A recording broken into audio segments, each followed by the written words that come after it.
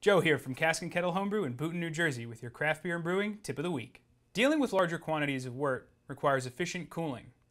There are three major ways to tackle this. One of the most common is the immersion chiller. This is generally where most beginners will start. It's easy to maintain, easy to clean, and fairly easy to use. However, it's the least efficient for the amount of water that it wastes.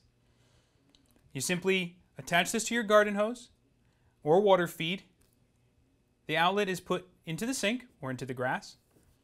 You place the chiller inside of your pot and let the water run while you stir. An alternate option, which is a bit more efficient on our water usage, is a counterflow chiller. A counterflow chiller works by sending the wort in one direction while pumping water in the opposite direction. As the two streams pass, the wort inside of a copper tube embedded in this hose and the water on the outside, the heat transfer occurs. This system is more efficient for water However, due to having to tune in the flow rates between the wort exiting and the water entering, it can add some time to the duration needed for an immersion chiller. Last but not least is a plate chiller.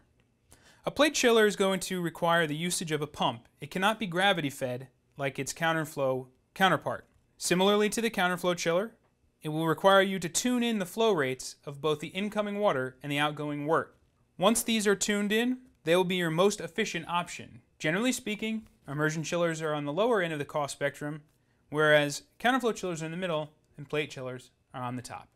To learn more about DIY customization, click on the link below to purchase and download the full class.